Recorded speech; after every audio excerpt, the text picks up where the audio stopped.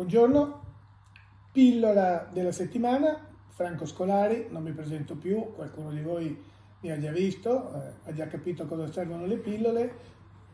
Beh, oggi abbiamo una pillola importante perché parliamo di tecnologia, parliamo di digitalizzazione, parliamo di transizione verde, parliamo anche di sostenibilità con un sottostante non irrilevante che sono gli incentivi per i progetti a tutte le cose che ho detto prima. Chi è che le segue? Chi è che ha la borsa al polo tecnologico per queste cose? Ingegner Massimiliano Bertetti, sei tranquillo, rilassato, perché i tuoi obiettivi di spendere bene i tuoi soldi e io ti do un assist. Ci sono più soldi e competenze che buoni progetti per realizzarli. Sei d'accordo?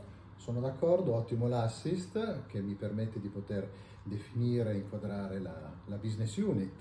La business unit vive di persone, vive di competenze trasversali, soprattutto focalizzate verso i temi dell'innovazione digitale, della trasformazione digitale e adesso anche verso la transizione ecologica o energetica, che dir si voglia, che poggia le basi sul, sulle due gambe europee, quel green e digital. Torno indietro alla focalizzazione che hai anticipato precedentemente sul abbiamo la borsa, abbiamo dei soldi, abbiamo un filone regionale, abbiamo un filone europeo e abbiamo un filone che viene ereditato dal DNA del polo tecnologico quando nel 2016 il polo dichiara la competenza territoriale Friuli Venezia Giulia sul digitale e su questo abbiamo costruito la business unit. Gli incentivi a supporto delle imprese, start-up, PMI e GI sono volte con una legge regionale ad individuare le attività di innovazione tecnologica, soprattutto nel campo delle tecnologie abilitanti, supportano finanziariamente progetti di trasformazione digitale e in maniera più grande l'altra borsa che hai citato è quello di un progetto EDH, di un European Digital Innovation Hub che abbraccia i temi digitale e green con una proposta di servizi alle aziende che vanno da un audit a consulenze di innovazione a costruzione di progetti di trasformazione digitale con una buona percentuale. Quindi l'imprenditore può diventare, se me lo permetti, solamente uno scellerato nel caso non dovesse accettare questa tipologia di attività di innovazione. Perché? Perché la BU gli incentivi um, cerca gli incentivi, scrive i bandi per poter andare a recuperare e proporre gli incentivi agli imprenditori del territorio italiani ed europei con la, con la pratica della, dell'attività di EDH. Non si offende nessuno perché di scellerati imprenditori non ne conosciamo, ne conosciamo ogni tanto di prudenti ne conosciamo ogni tanto di meno informati. È un'informazione che devi darci.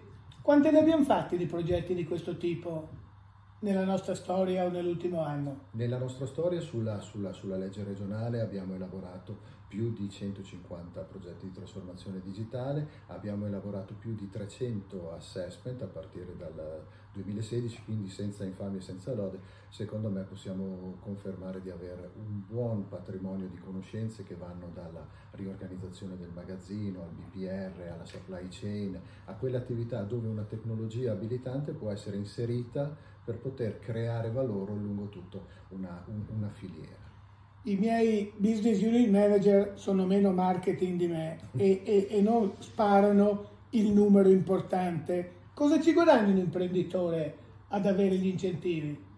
Vabbè, ah ci guadagna. Eh, diglielo. Cosa ci guadagna? Ci guadagna non solo reputazione, fama e, visibilità, che ovviamente possono essere, ma ci guadagna, eh, risparmia più che ci guadagna, risparmia uh, fino a nel caso specifico fino a un 80% dell'attività di un progetto. Se siete PMI 80%, se siete grande impresa spendete di più, ma 50-60% a seconda della tipologia del servizio o dell'attività di trasformazione digitale o sostenibile. Grazie Max. Nessuno degli uditori è scellerato, molti degli uditori devono intraprendere un'attività di competitività del loro processo produttivo, rivolgetevi al Max Ciao, a presto. A presto.